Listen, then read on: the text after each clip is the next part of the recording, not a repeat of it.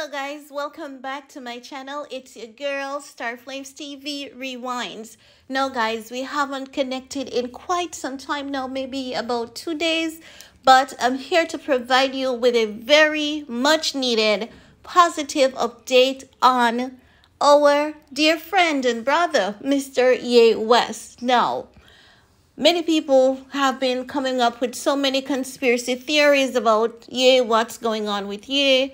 However, I'm here to tell you guys that Ye West is okay.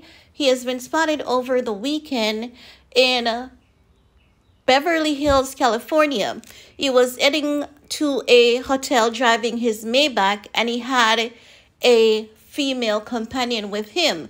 Now, this woman appears to be a elderly person, so I don't think it's a love interest. I more think that it's business, could be legal issues that he's dealing with.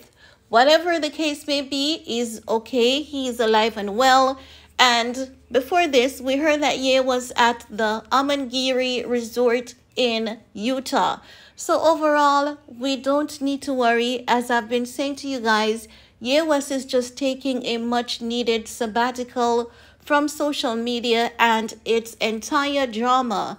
Chances are he may come back, or this could be the new Ye, a new move, a new direction that he's taking. Maybe he's just focusing on his creativity because I told you guys about that about two to three weeks ago that there was, you know, words from Ye that he's just being creative, focusing on his creativity, and he's still, you know, gonna make products. So all in all, it's a good day, and to the people who have been wishing death on this man, count your days. Your days are numbered. Listen, whatever you pray for someone, it's only going to multiply and come back to you. So no matter what, no, no matter how pissed off or angry we are at someone, it is always best to you know, preach love and promote positivity.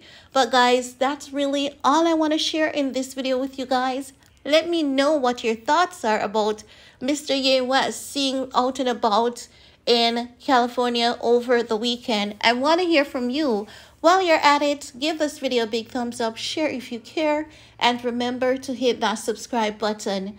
Thanks for your time. Stay safe, stay blessed, stay prayed up. See you all next time. Bye, guys.